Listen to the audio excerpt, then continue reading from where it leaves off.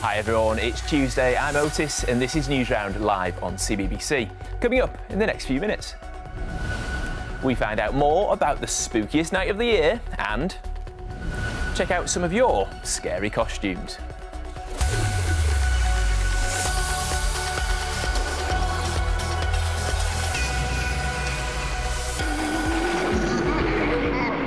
First up today, you might be taking part in some Halloween fun today. I know we are. Maybe you're going trick or treating or even carving a pumpkin. But have you ever wondered why we do all that? Well, it turns out there's a very spooky history behind it all. Nina has been finding out more for us. So it's the time of year where things start getting a little spooky and some terrifying traditions begin. Trick or treating, dressing up, pumpkin carving, and telling scary stories to name a few. But have you ever wondered why? Hmm, well, let me tell you more. We all know what Halloween is, but have you heard of Samhain? Well, this is sort of where Halloween came from. It's an old Celtic tradition that is still celebrated around the world today. The Celts believed Samhain was the day in the year where the gap between our world and the world of the spirits was very thin, so spirits could easily get through. This eventually joined up with the Christian festival of All Saints' Day to create All Hallows Eve. Yes, you've got it, Halloween. Who is making that noise? Well, what about the traditions? Well, trick or treating had its beginnings in medieval England. Yep, it began hundreds of years ago when people used to go from door to door offering to pray or sing a song for people's families in exchange for food. But it wasn't called trick or treating back in the day, it was called souling. It happened around All Souls Day, a special time where Christians prayed for their loved ones. It carried on through the Victorian era, and people think this is how trick or treating became a British tradition. So, what about creepy costumes? Well, that's another tradition that comes from the Celts. They used to wear spooky outfits to try and scare away any spirits that might be hanging around. Can you pack that in? I'm trying to record a video here. Right, let's crack on. So that's costume sorted, but what about pumpkins? For this, we're going to have to travel to Ireland. There, people didn't start with pumpkins, they actually started with turnips. Spooky faces would be carved up on the turnips to scare away a mythical spirit called Jack that people believed walked around at this time of year.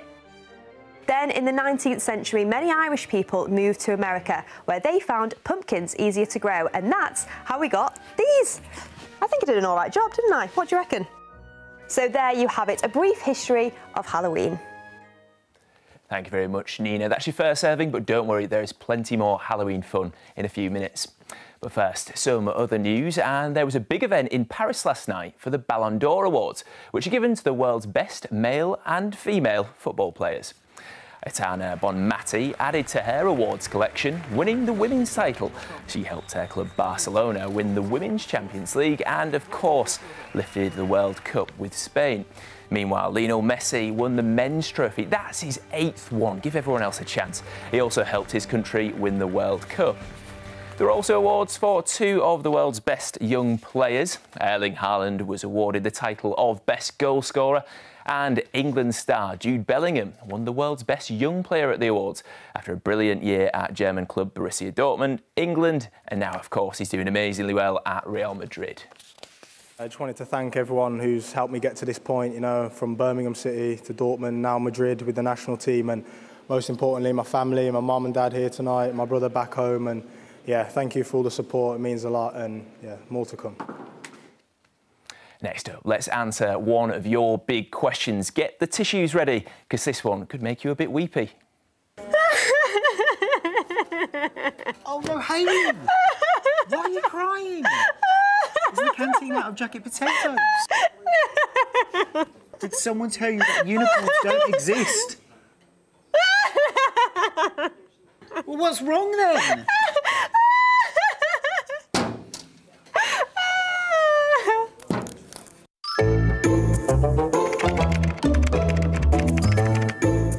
Well, it all starts underground. Life for an onion is pretty sweet when they're down there in the dirt, except when creepy crawlies come by wanting a nibble. Onions don't like that at all. Luckily, they've got a secret plan to keep the bugs away. When the bugs bite the onion, it releases a chemical which stings really bad, so the creepy crawlies will stay away. This chemical is called synpropanethiol Whew, try saying that 10 times fast. When we cut into onions to cook them, the same chemical is released into the air. When it reaches your eyes, it makes them sting. We cry because our eyes are trying to flush the chemical out of our bodies so that the pain stops. But how can we cook with onions without crying into our tea? Well, here's a few tips. Try putting your onion in the fridge before you want to cut it. When it's cold, it takes longer for the chemical reaction to happen. 30 minutes should do it. Put a silver spoon in your mouth. When the chemical gets to the spoon, it binds with the metal before it reaches your eyes. Or wear some very cool goggles like me. Interesting stuff. Cheers, Haley. Next, US President Joe Biden and his wife, First Lady Dr. Jill Biden, hosted Halloween at the White House last night. The president's home was decked out with pumpkins, witches, and spooky music was played for the kids invited to take part. It's an almost 100 year old tradition, and this year the focus was on books, with the White House calling it a Halloween celebration. So, trick or treaters were given books as well as sweets. Now, Halloween means spooky costumes, parties, and a bit of trick or treating. So, over on the Newsround website, we asked you what you were dressing up as this year. Pink Magic Kitten says they're going as a witch. Nice. Diamond Apple 24 is going Halloween show jumping dressed as a vampire bat. Another news rounder is dressing up as a creepy doll with their friend, and another friend is going to be the doll master. And Eve says she and her friend are going as the black and white swan from the ballet show. Now, some of you have sent us your pics of your Halloween costumes and displays too. Let's take a look at them.